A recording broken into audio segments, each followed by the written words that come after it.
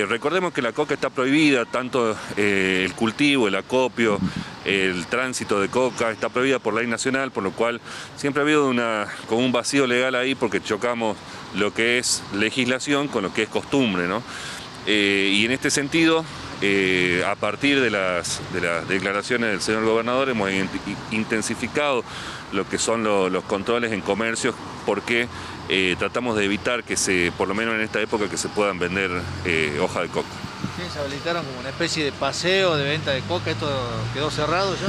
Claro, el tema, eh, nosotros tratamos de ubicar a las personas que vinieron por, por motu propio a eh, solicitarnos un espacio, ellos gestionaron su propio espacio y lógicamente eh, nosotros para viabilizar la salida del vendedor de la calle y también eh, propiciar que se trabaje con las medidas de seguridad, es mucho más fácil hacerlo en un predio cerrado, hemos... eh, si se quiere, habilitado este, este lugar.